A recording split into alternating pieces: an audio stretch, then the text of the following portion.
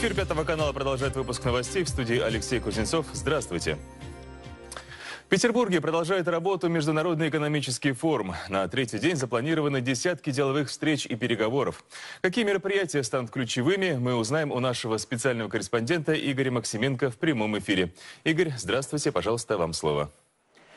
Программа заключительного рабочего дня Петербургского международного экономического форума вполне могла быть более легкой, не такой насыщенной. Все-таки главные события уже произошли. Но, тем не менее, запланированных мероприятий на сегодня довольно много, целых 10. Все они важны и серьезны. И начались не, необычно рано, в 8.30 утра.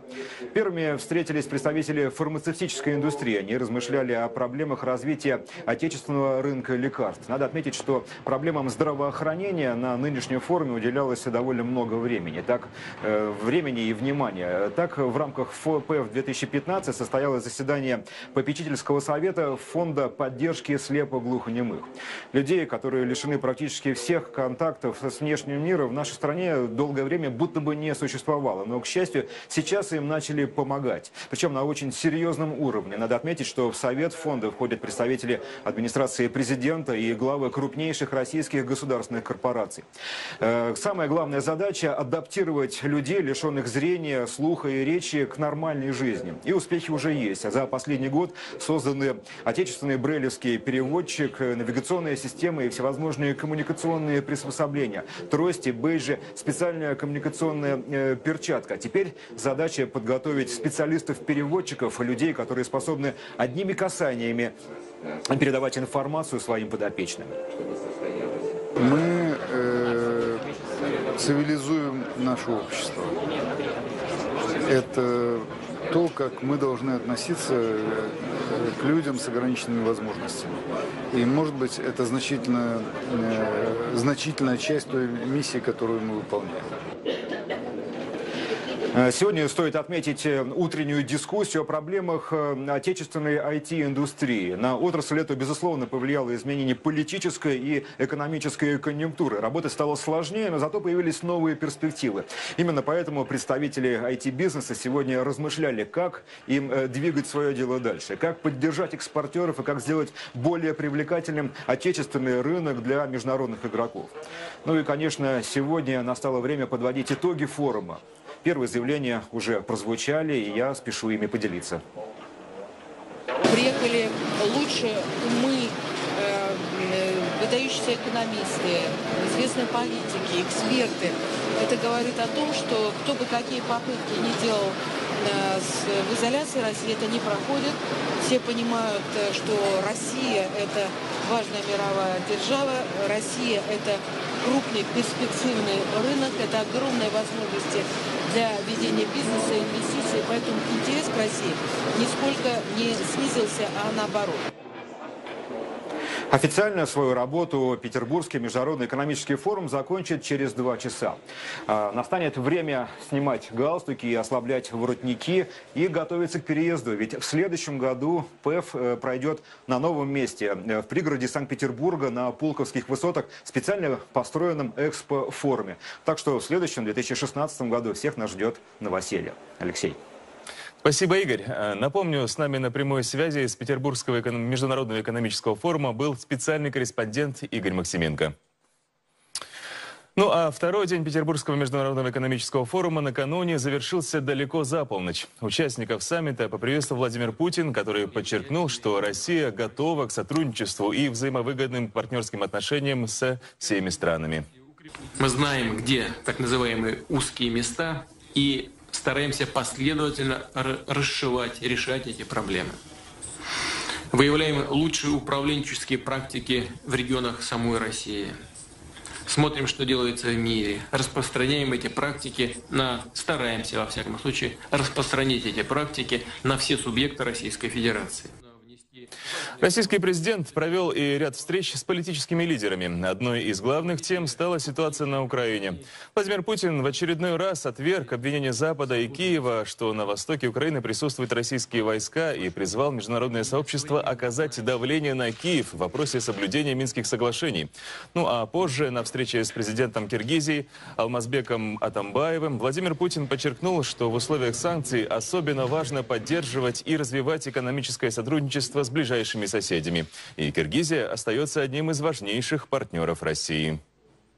Я уверен, что эти все тенденции будут преодолены, а планы, которые мы с вами э, имеем по развитию наших отношений, будут реализованы. Мы выйдем, безусловно, на тренд такого постоянного позитивного развития. А уже за полночь Владимир Путин встретился с представителями ведущих мировых информационных агентств. Такие встречи с журналистами уже стали традиционными в рамках Петербургского экономического форума. Один из первых вопросов, с которым обратились к российскому президенту, а что будет после ареста российского имущества в ряде европейских стран? Мы будем защищать свои интересы. Что касается этого разбирательства, то наша позиция известна. Она заключается в том, что по э, вопросам и по делам подобного рода Гаагский э, арбитражный суд имеет э, компетенцию только в отношении тех стран, которые подписали и ратифицировали энергетическую хартию европейскую. Россия не ратифицировала эту хартию, поэтому мы не признаем юрисдикцию этой судебной инстанции. И будем доказывать это в установленном порядке через судебные процедуры. На вопрос об усилении враждебной риторики между США и Россией Владимир Путин отметил, что это не означает увеличение риска ядерной конфронтации. Однако, подчеркнул президент, Россия защищает свои интересы и обязана отвечать на действия Запада, направленные против Москвы. Не годы как по масштабу, так и по насыщенности научно-деловой и демонстрационной программ. Участниками масштабной выставки стали более 700 предприятий и организаций. Проведено более 90 круглых столов столов и представлено свыше 7 тысяч экземпляров вооружения и военной техники. Основная задача форума, который впервые полностью организовала и провело Минобороны, показать лучшие образцы российского вооружения и перспективной разработки отечественного оборонно-промышленного комплекса. Причем демонстрировались не макеты, схемы и чертежи, а реальные образцы вооружений. И со своей задачей военное ведомство справилось. В мероприятиях форума приняли участие представители более 70 стран, в том числе 38 официальных делегаций. Для осмотра были открыты все экспозиции, расположенные на территории Конгрессно-выставочного центра Вооруженных сил Российской Федерации, а также сухопутный, водный и авиационные кластеры в Алабине и Кубинке, где при полных трибунах прошли 8 динамических показов представленных образцов техники и вооружения. За три дня в подмосковной Кубинке побывало свыше 200 тысяч человек. Дилан Руф, который обвиняется в убийстве девяти прихожан в церкви Чарлстона, планировал открыть стрельбу в городском колледже. Это стало известно следствию после беседы с друзьями обвиняемого. За неделю до совершения преступления в разговоре с приятелями Руф заявил, что намерен устроить массовый расстрел в кампусе учебного заведения. Его слова знакомые серьезно не восприняли, однако на всякий случай спрятали пистолет, который Руф хранил в автомобиле. Примечательно, что оружие молодой человек получил в подарок от родителей. Мы забрали у него пистолет и спрятали его в вентиляцию, а его подруга, которой мы все рассказали, сказала, что вряд ли Дилан собирается стрелять, и мы отдали ему оружие. Напомню, 17 июня вечером 21-летний Дилан Руф открыл огонь во время службы методистской церкви Чарлстона. Жертвами преступления стали шесть женщин и трое мужчин. Сейчас молодой человек находится под стражей, его обвиняют в убийстве и хранении огнестрельного оружия. Свою вину он признал. По версии следствия, мотивом преступления стала ненависть на расовой почве.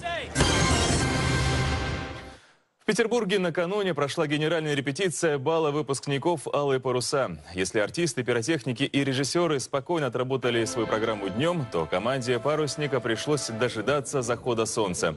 Для репетиции выхода знаменитых «Алых парусов» на несколько часов раньше развели мосты. Чтобы детально отработать выход в него, корабль совершил несколько маневров в акватории. Команда была максимально сосредоточена, ведь уже предстоящей ночью выход судна станет кульминацией самого масштабного праздника выпускников страны. Театрализованное представление, выступления популярных исполнителей, пиротехническое шоу – это лишь немного из того, что приготовили организаторы праздника. В этом году «Алые паруса» посетят десятки тысяч гостей из разных стран. Одних только школьников около 80 тысяч. Впервые на Дворцовую площадь приедут выпускники из Крыма. Эксклюзивная трансляция грандиозного шоу в прямом эфире на Пятом канале. Не пропустите. Ну а в Москве главный выпускной бал страны уже прошел. 6 тысяч школьников, показавших выдающиеся успехи в учебе, собрались в Кремле. Это золотые медалисты, победители олимпиад и, кон и конкурсов. По традиции торжества начались с возложения цветов к могиле неизвестного солдата в Александровском саду. Дальше юноши и девушки прошли по красной ковровой дорожке в Государственный Кремлевский дворец, где для них приготовили грандиозный концерт. А до этого состоялось вручение премии Всероссийского конкурса «Выпускник-2015». Завершился праздник салютом на Красной площади.